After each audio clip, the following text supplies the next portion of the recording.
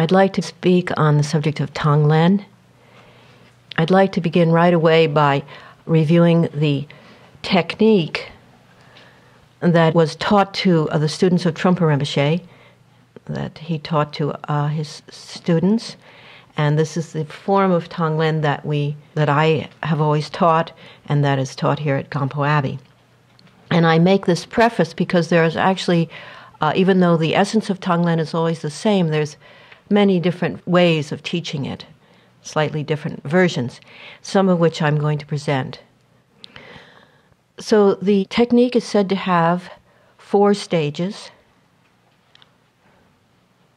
And sometimes it's thought of as three stages, with the third part having like two parts, just to make it more Buddhist. and the third part of the fourth part has six parts. no, not really. I'm just kidding. so the first is taught as just touching in with stillness or openness of mind, just touching in. And the way Trungpa Rinpoche used to express that is just a flash of absolute bodhicitta. Now, often when that is taught and that instruction is given, people really don't have a sense of at all of what that might mean. So Rinpoche suggested that when we're doing formal meditation, that we listen to the gong as a way of just looking straight ahead, just listen to the gong at the beginning of the Tonglen as a way of just resting your mind, some kind of openness and stillness. So if you would all just sit up and look straight ahead and just listen to the sound of the gong as if this were the beginning of your Tonglen practice. You've been meditating. Maybe there's already some openness. Maybe the gong shocks you into some openness out of your fantasy world. But in any case, seize that sort of moment and look straight out and uh, listen to the sound of the gong almost until it's gone.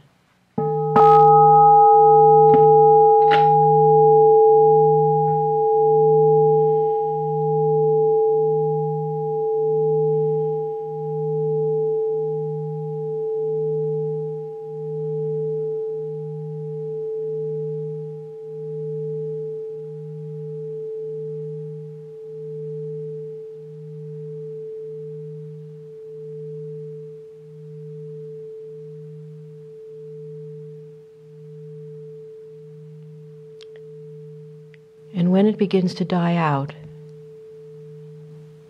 then begin breathing in the quality or texture of claustrophobia, usually described as dark, thick, and heavy. Sometimes also say hot. Breathing it in. Breathing out the texture or quality of spaciousness. Clear, light, fresh.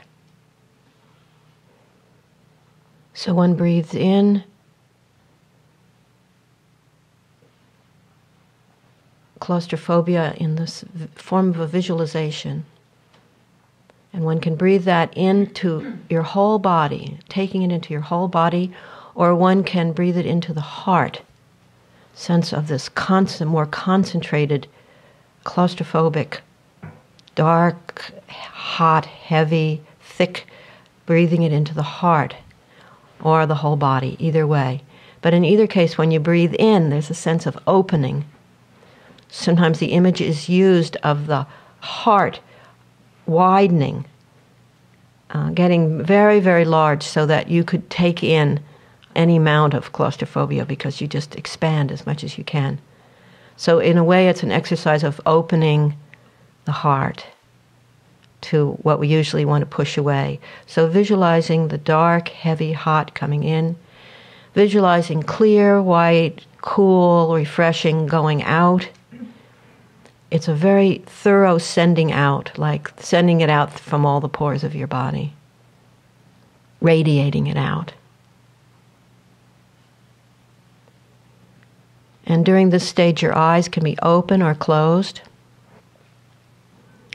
The uh, Lojong slogan is to practice taking and sending on the medium of the breath. So that's to say, you synchronize this with your breath. Your breath coming in brings in the heavy, hot claustrophobia. Breath going out radiates out, clear, light, bright, refreshing. And you just do this for a while, breathing in and out until it feels synchronized with the breath, doing this visualization. Also, the breath can be manipulated.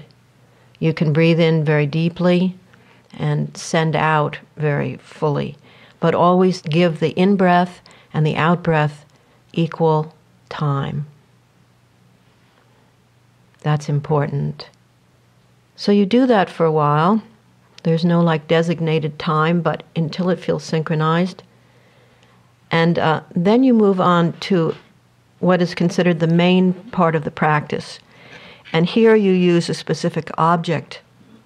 The other day I suggested that people do Tonglen for their mother.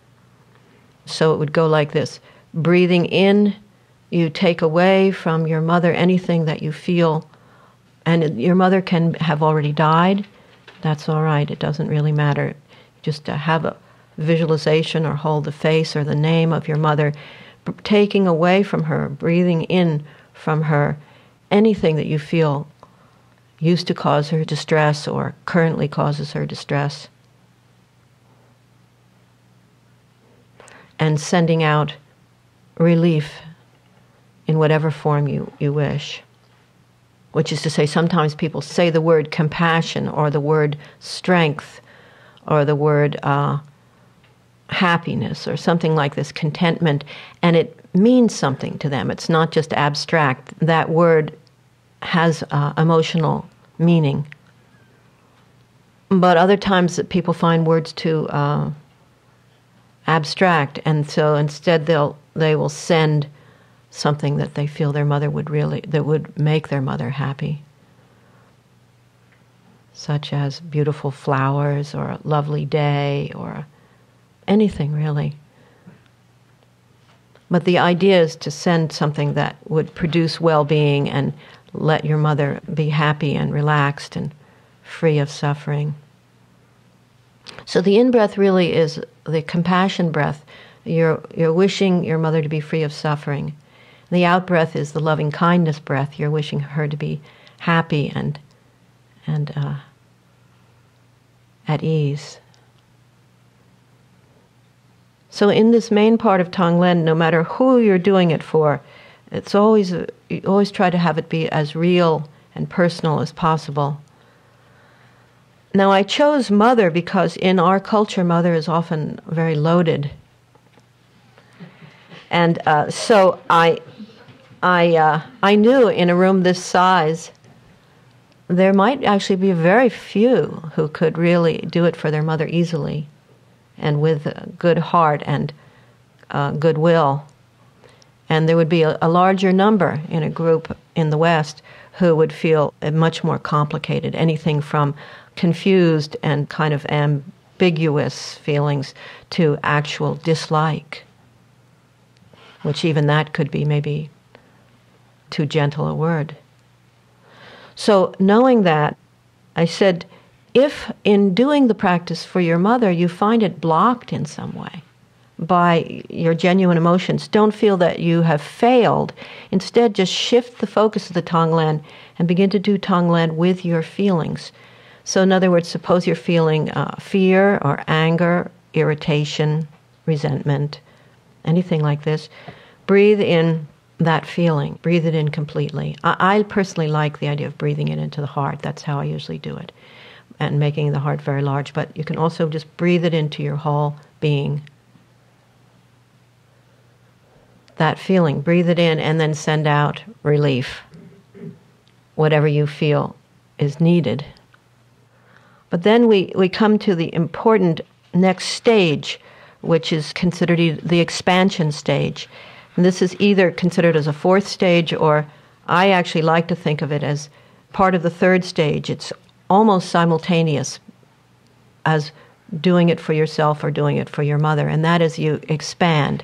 So, for instance, if you breathe in the troubled feelings that you're having and send out relief, then you start breathing in for all the people who are in this kind of conflicted relationship with their parents or loved ones and sending out relief to all of them. So that your very personal experience that you're having right on the spot, which you might feel ashamed of these feelings, but instead of them being an obstacle, they actually become the basis of Maitri for yourself and compassion for other people in the same boat.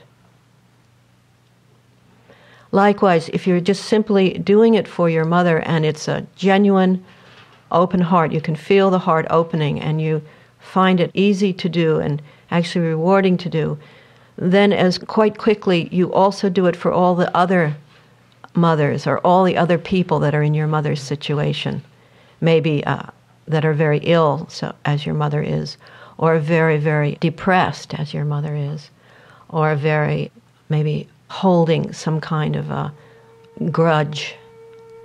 We'll do it for all the other Jewish mothers.